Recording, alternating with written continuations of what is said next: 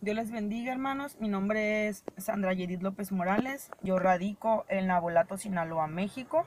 Eh, sobre el tema que se trató ayer, la tarea de opresiones demoníacas, yo hice mis tres anotaciones. Eh, número uno, saber la sintomatología es importante para conocer las puertas que se abrieron y por dónde entraron esos demonios y cómo están operando, ¿verdad?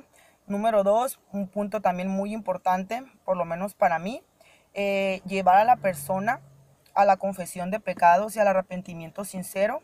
¿Por qué? Porque me quedó muy claro que hay demonios que entran por el pecado propio y no solamente por los, por los pecados que ya son generacionales, que ya son heredados por, la, por parte de la familia, ¿verdad? Eh, al hacer esto, la confesión de pecados, los demonios que están ahí eh, pierden derecho legal y al perder derecho legal en automático tienen que salir al momento de, hacer la, la, expulsión de esa persona.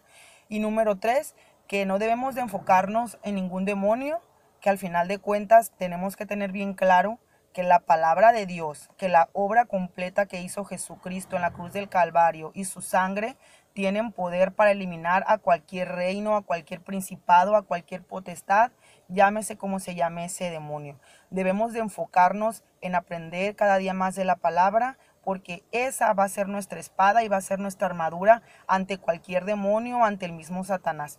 Eh, espero que mis comentarios les sirva al grupo, que les aporte algo y les deje un poquito más claro en sí. Esas tres cosas a mí fueron las que me llamaron mucho la atención. El trabajo, la verdad, me trae un poco atareada ahorita, pero ayer con todo y lo cansada alcancé a adelantarle pero el cansancio ya no me dejó hacer el video, pero espero que tengan un bendecido día y pues esperando la tarea de hoy. Dios les bendiga.